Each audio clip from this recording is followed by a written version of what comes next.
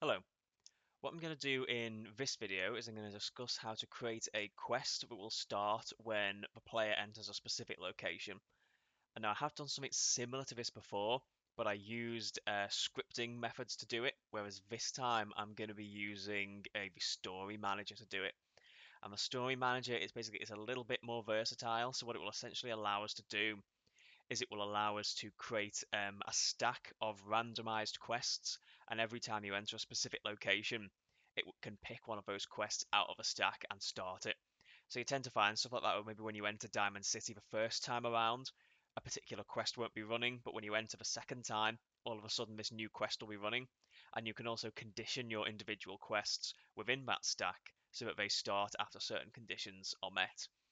So it's a little bit more um, complicated than just using the location change event within a script because this is going to be able to, we can just basically plug in a whole bunch of quests to this so it's a little bit more versatile.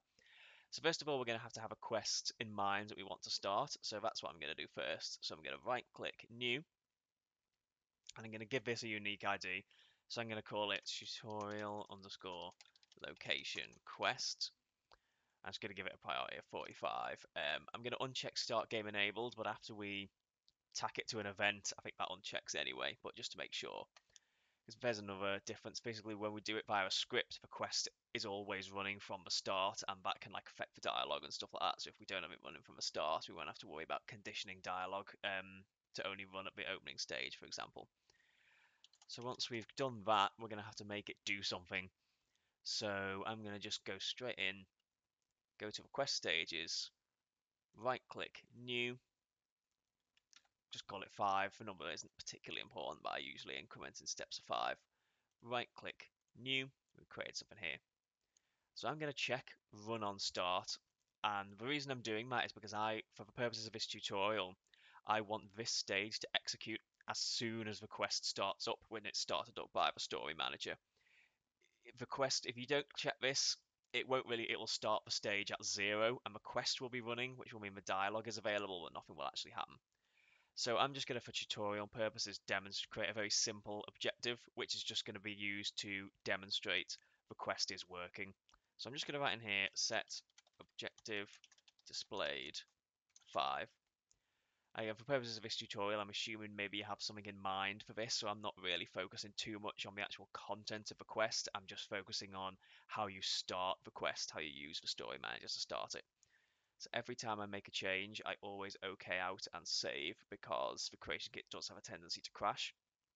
So go quest objectives, right click new, give this the index of 5, and this is going to be the objective 5 that we called in that line before. I'm just going to say tutorial objective. Then I'm going to click back out to data, save, as I always do. And we're going to want to make sure that this quest will actually show up. So you're going to need to give it a type you can give it any of these really. This just affects stat tracking and what sat, what music cue plays at the end. So I'm going to do side quests. And I'm just going to give it a name. So this is how it will display in your Pip-Boy. Tutorial quest. That'll do. Okay. So I've made an incredibly simple quest that basically just is going to pop as soon as I change to a specific location just for tutorial purposes. So I'm going to now jump into the story manager and this is the real where the real sort of content of this tutorial is going to be. So we're going to want to use this change location event within the story manager. And we've got all these nodes, and so we're going to be using um, these nodes. So first of all, I'm going to want to right click and add a new branch node, and that is going to create one of these little gray nodes attached on here. And we're going to want to give it some kind of ID, so I'm going to call it tutorial underscore um, branch node. That'll do. If we click off it, its name should appear. Then second of all, I'm going to want to attach one of these white nodes, which is going to be a quest node, new quest node, and that's now bought with this little plus sign, and give it an ID, tutorial underscore quest node. Now this shares event, uh, make sure that is, it is ticked by default, but make sure it is ticked uh, anyway. Don't untick that because otherwise you could potentially block other things within the vanilla game from five. You have to make sure these share the event. Otherwise, once your thing takes the event, it'll stop anything else from registering, and that can obviously mess up other people's mods or vanilla stuff. So within this stacked quest node, this is where we're going to house all our quests. So what we could do is we could add within our main node five or six different nodes, and in that node we could add five or six different quests, all conditioned differently. But I'm just going to add a quest for now, and it's going to be our tutorial quest. So it was just called tutorial location quest, wasn't it? That's the one that we made in here. So now what we're going to want to do is we're going to decide how we want to condition it, and there really is a lot of versatility in what you can do here. So I'm going to add um, my condition to this branch node. So I'm going to right click new and here we're going to do get event data because what we're going to be doing is we're going to be pulling the data that is sent from the location change event. So I'm going to go get event data. Click on here and I'm going to have a new location as my event data that I'm going to choose. And I'm going to choose the Abernathy farm location for no particular reason other than that's why I use in the tutorial. So what this will essentially mean now is when the player changes location, these events will all start firing off. And if the new location the player has changed into is Abernathy Farm, this will then jump down to this quest node. And I could condition this quest node if I wanted. So maybe um, I want this quest node to only run if the player has, you know, a cap, exactly one cap in their inventory, and I could add another quest node and have a bunch of quests for only one if a player has two caps in their inventory. You know, I could I could do stuff like that uh, if I wanted to, but it would be um, it'd be a little bit weird. But and then what it will do from there is it will pick any random quest from underneath this node and start it. Now, because I've only got one quest, it will start that immediately. But if I had maybe three or four quests, it would just pull a random quest. So this can be particularly useful. Let's say if you want to have a player enter a town and one quest start at a time, that can be particularly useful in this scenario.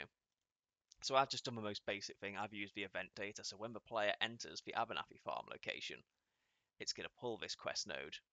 And this quest node, because it's only got one quest, it's going to pull this one.